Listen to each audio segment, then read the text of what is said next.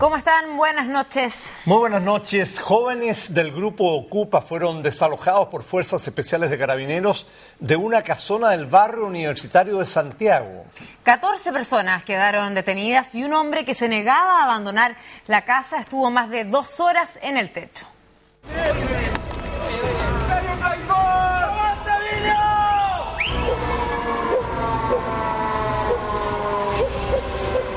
Cuatro años, esta antigua casona, ubicada en calle República, sirvió de refugio a una agrupación ocupa, que como es tradicional, se tomó el lugar sin autorización. Pese a esto, ahí realizaban variados proyectos culturales y artísticos, pero el Serviu, dueño de la propiedad, empezó a gestionar la salida de quienes ahí vivían, pues tenían otros planes para el futuro de la deteriorada casa.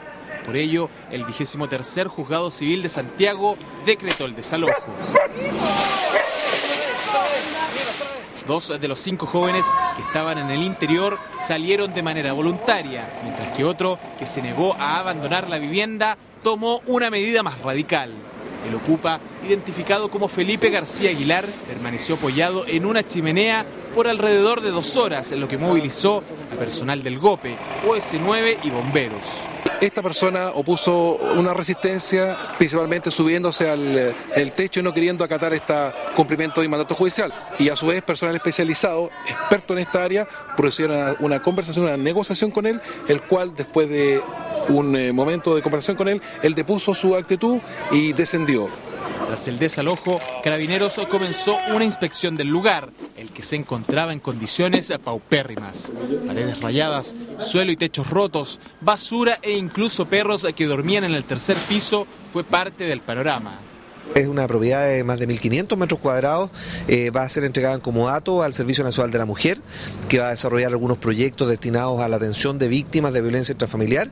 Por tanto, nosotros esperamos que tenga un muy buen uso. En el 2007, un equipo de Mega Noticias entró a la casona, donde se realizaban talleres de danza, pintura y música. No somos terroristas ni nada, somos gente del arte y de la cultura y que queremos demostrar que podemos trabajar bajo la autogestión y la independencia. Personal especializado de carabineros investiga si alguno de los sujetos que vivían o realizaban actividades en esta casa tienen alguna relación con los atentados explosivos ocurridos en unidades policiales, bancos y empresas transnacionales.